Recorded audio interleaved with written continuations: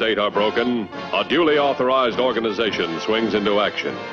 It may be called the state police, state troopers, militia, the rangers, or the highway patrol. These are the stories of the men whose training, skill, and courage have enforced and preserved our state laws.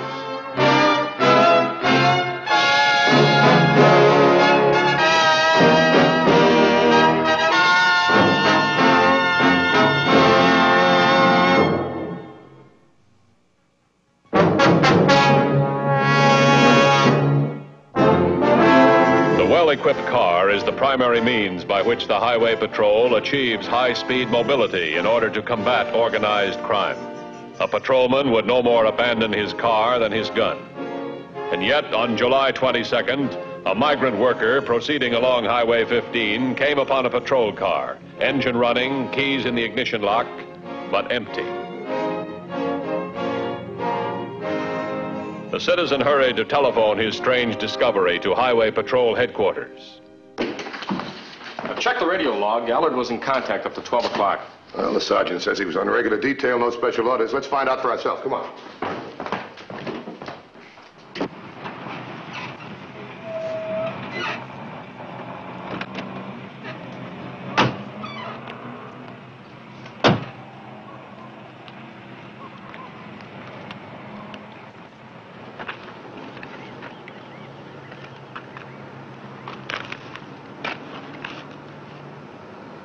Looks like he stepped out of it a second ago into thin air. Uh, there's no sign of a struggle. Wait a minute. Here's something over here.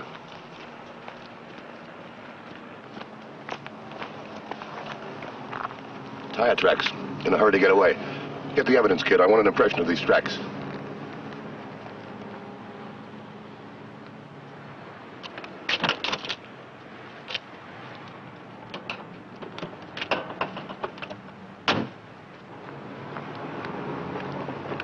He's got to be around here somewhere. I'll get some help.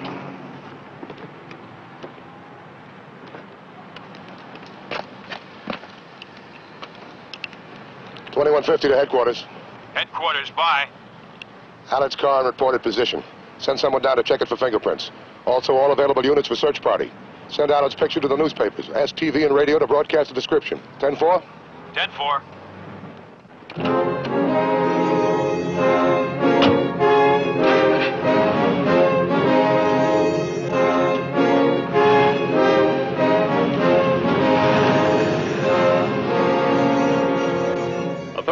Examination of Officer Allard's car had revealed nothing except that the radio was out of order. Newspapers and broadcast stations had cooperated fully, resulting in a number of false leads and an interview with Frank Hanley, a car painter. No, it couldn't have been that officer. All right, thanks very much anyway. Right.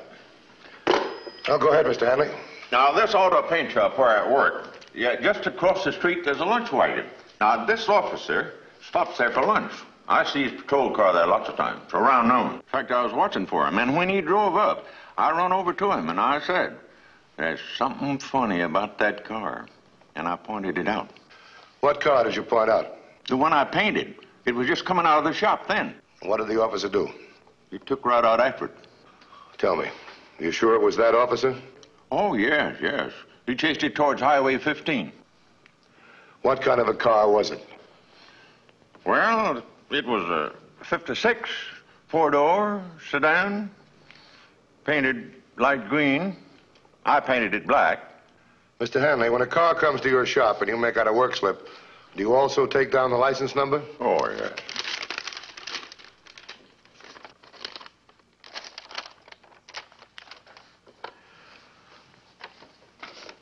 DMV, please. St. Matthews, Highway Patrol. Get me a 2829 and license number 2 Nora 57516. Repeat, 2 Nora 57516, right? Did you get a good look at the guy that picked up the car? You know, that's another reason I suspicioned him. When he come in, he had a bandage on one side of his face. And he kept that side towards me. Said his car needed a paint job. No, that car didn't need no paint job. All right, go ahead. What, a green 1956 four-door sedan. Registered to who? Theo Nielsen? Let me have the address, will you? Theo Nielsen Bookshop, 921 Main Street. Right, thanks very much. You've been a great help. Would you mind waiting? I'll send one of the boys in to take your statement. Yeah, sure. Thanks a lot. Yeah.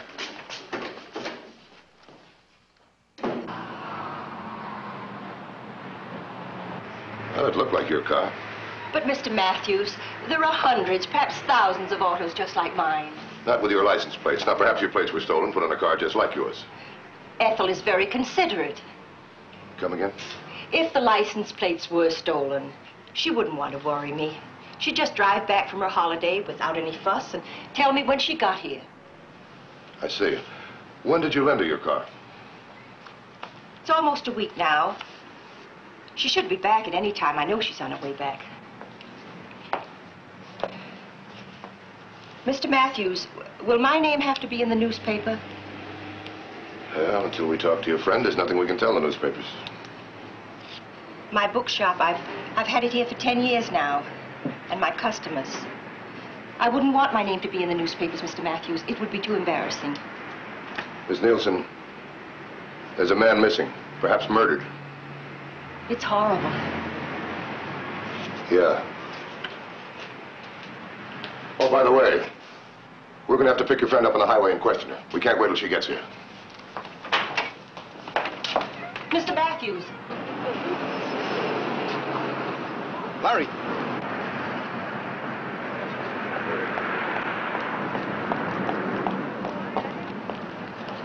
Just let us handle it, will you? They got to her first. Take it easy, George. Look, we'll do everything we can, but we need your help. Headquarters at 2150. I'll keep in touch with you. All right. 2150, bye. We were on our way out of town, all free and clear, and you had to use a gun. The cop had us with her car repainted and the numbers hacked off. He wouldn't have looked for the numbers, and I could have talked her into thinking I did the new paint job for her. What about the 10,000 you talked her out of? That'd get us five to life. How are you going to cover that? Good talk, sweet talk. She's love star. She'd give her last cent for a promise of marriage, and did. You had to con her out of a car, too. We were doing okay just lifting and selling them. No, you had to take her for everything she was worth. I had to be your brother. Well, this time you conned us right into the hot seat. We can always shut her mouth Not if she's talked to the cops already. Look, I said, let's get out of here. and leave a witness that can hang us. And maybe she hasn't talked. Go watch that cop and signal me when he's gone. 10 4.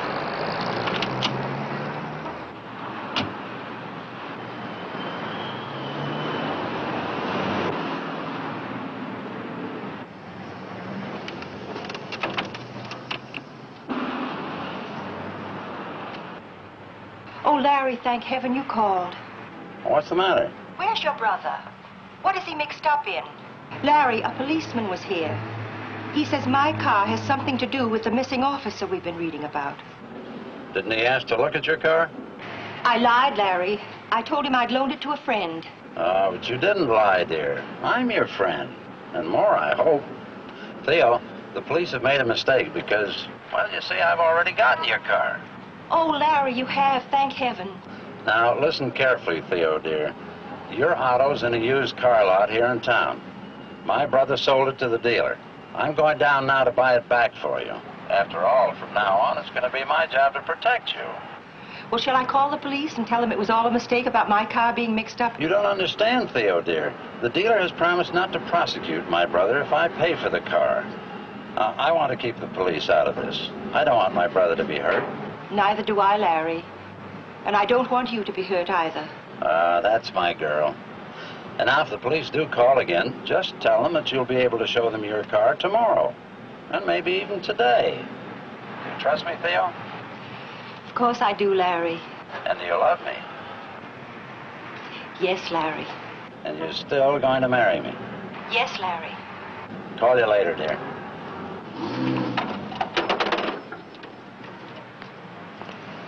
Well, what do we do now? Uh, we'll get rid of her in the brush on top of Canyon Pass on our way out of here.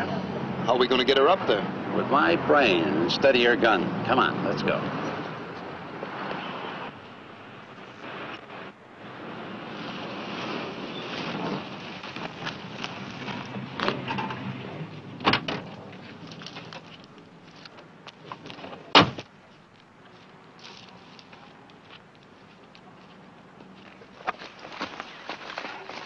Did a good job of burning this one, didn't they? He sure did. The description seems to check with the one Hanley gave us. What about the license numbers? Plates are gone. Fingerprints? Not a one. Is Dorsey here? Yeah, he's over there checking in the brush. Well, the engine number will show it's her car. Now they've been chiseled off. The body serial number's been ripped off, too. Over here! Come on.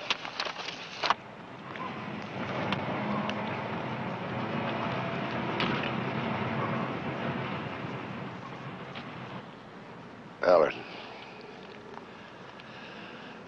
Call headquarters and get the coroner out here. Then get a tow truck. I want that burned out job at headquarters.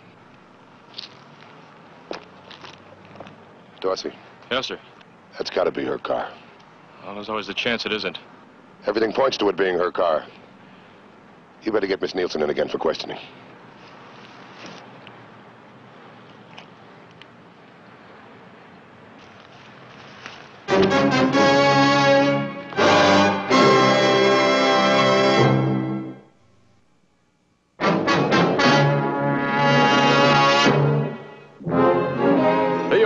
Theo could not be linked to the burned out car by the numbers on the engine, body, or license plates. They had all been obliterated. Still, every circumstance indicated that she had owned the car. Miss Nielsen, I'm sorry I have to put you through all this, but I hope you understand. That's all right. All right, Miss Nielsen. You do admit you own a 1956 green four-door sedan. You say it's a couple of hundred miles away from here. Yes, I told you a friend. A witness saw your car, the license plate checked out to be yours, was right here in the Springwood area. He could have been mistaken. Right, thanks very much. Now, Officer Allen chased his car to Highway 15. Two hours later, the patrol car was found empty. But there were tire tracks there. We took an impression. Now, this is the impression of his tracks and a car exactly like yours. Do you notice any difference? I don't know. There are many cars like mine. 24 hours later, 10 miles away, we found the car that made these tracks. Deliberately destroyed, burned beyond recognition. A car exactly like yours, Miss Nielsen. Well, maybe when you find the patrolman. We found Patrolman Allard. He was dead. Murdered. 50 yards away from the burned out car. Your car. The murder car was your car, Miss Nielsen. No, no. I know where my car is. Where? I'm getting it back today.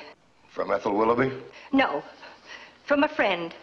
A man to whom I loaned it. Larry has a younger brother. Oh, I'm so confused. I don't know what to do. Could Larry's brother have? But then how could Larry promise me? Why don't you level with me? Why don't you start from the beginning?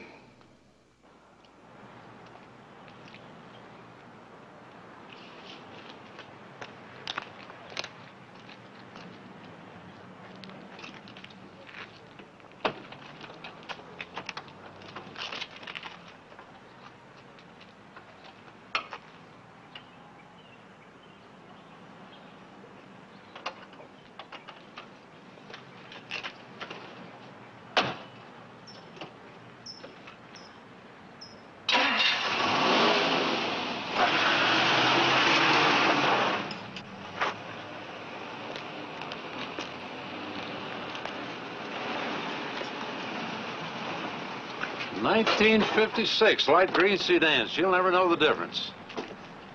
Especially when she sees her own license plates. Put them on. That's all I know. All I know about him. Well, Miss Nielsen, I'm sorry. I think you've been taken for a car and $10,000. I don't think it's a younger brother. I don't think you'll see Larry Gardner again either. Please. May I go now? If you hear from him, call us, will you?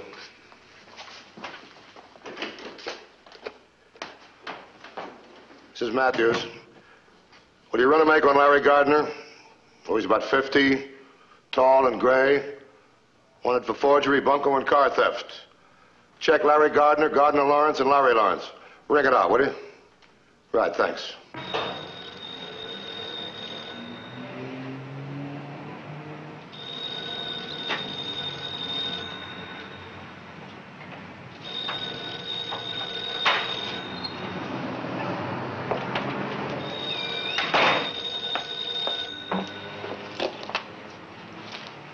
Bookshop. Oh, Theo, dear, where have you been? I've called you several times. I have your car. Do you really have my car? Of course, I'm looking right at it. Uh, but, Theo, the dealer wants you to sign the contract of repurchase. You'll have to come down here after you close your shop for the night. About 6 o'clock? Which dealer? Oh, the used car lot where Main runs into Highway 15. You know the one. All right? Your car is in perfect condition. There's not a mark on it. All right. Six o'clock, Main and the highway. Yes, dear.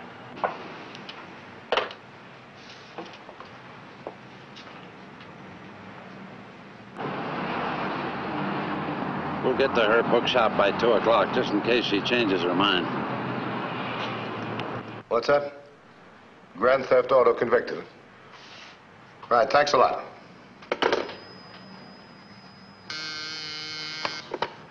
Yeah? Okay.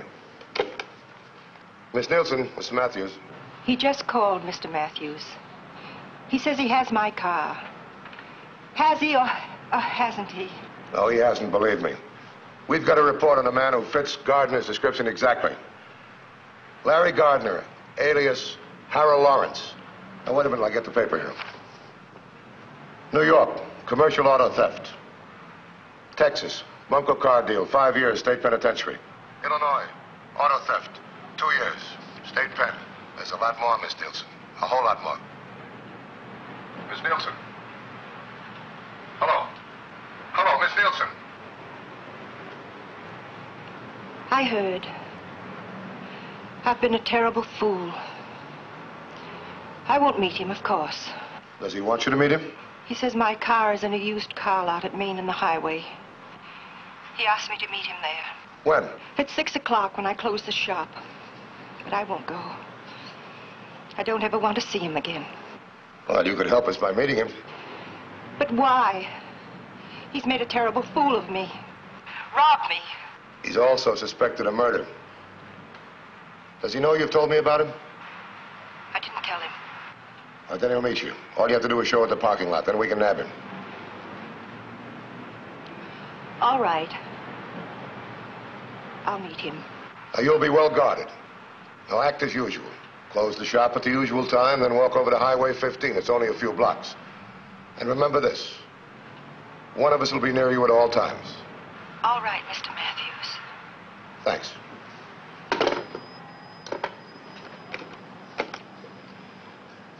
Get Dorsey and Johnson in here right away, will you?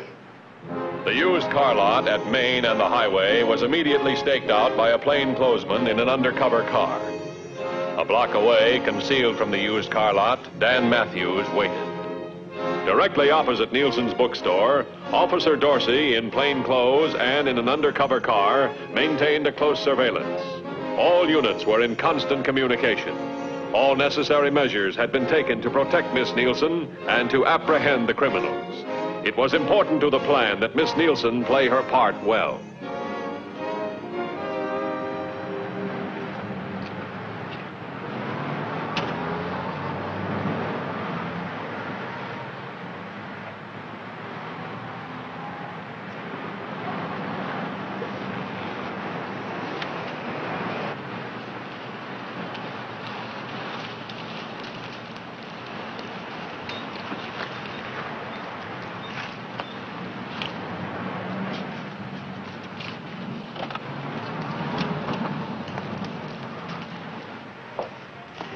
Hello. Hello. Just to let you know we're here. We will be for about the next five hours. I'm parked right across the street. If you need me, just give me a sign.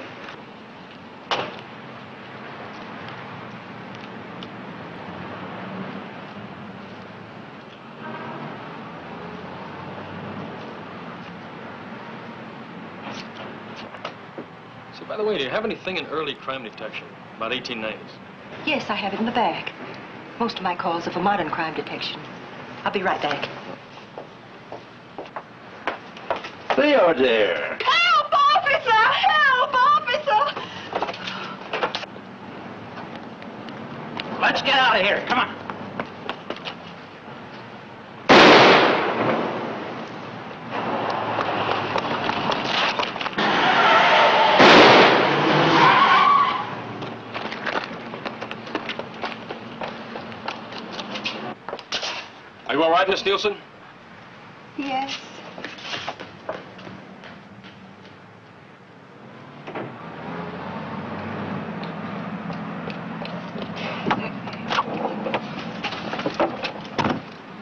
2150. Go ahead, 2112. Gardner and accomplice making getaway from Nielsen's bookstore, 1956, light green four-door sedan. Direction of suspects unknown, 10-4? 10-4. 2150 to all units in Springwood area. Be on lookout for a 1956 light green four-door sedan, probably on Highway 15. Occupants are armed and dangerous. One is Larry Gardner, age, I'd say, about 50. He has one accomplice.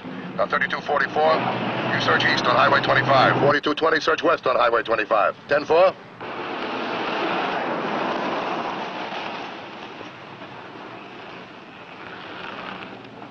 Forty-two forty-eight to twenty-one fifty. Go ahead, 4248.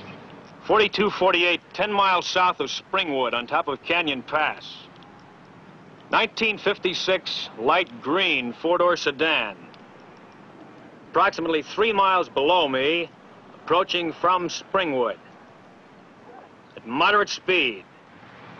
And block Canyon Pass at top. Converge on Canyon Pass from east to west. I'm coming in from north. 10-4? 10-4.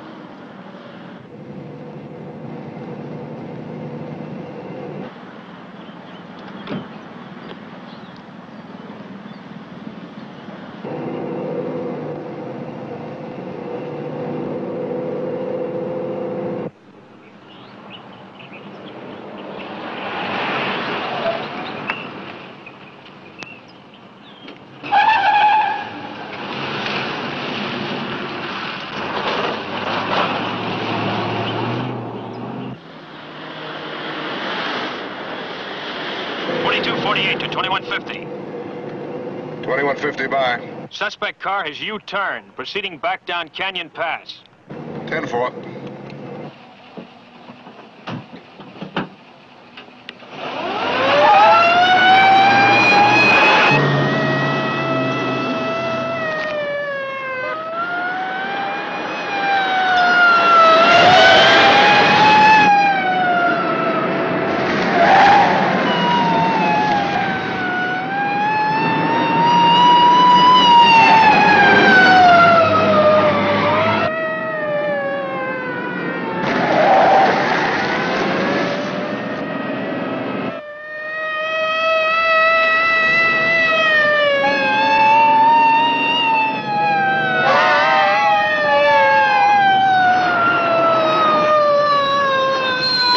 Give me that. I've never used a gun. He shot Allard. He pulled the trigger, you mean?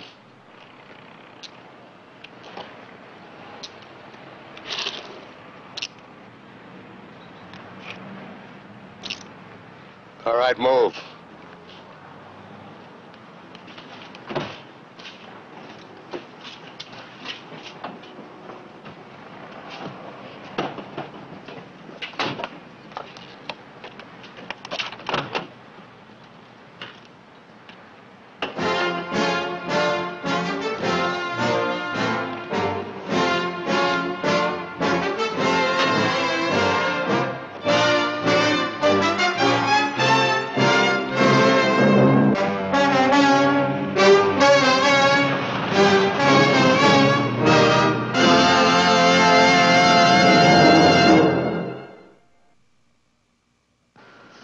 The Highway Patrol in action again next week. Until then, remember, leave blood at the Red Cross, not on the highway. This is Broderick Crawford saying see you next week.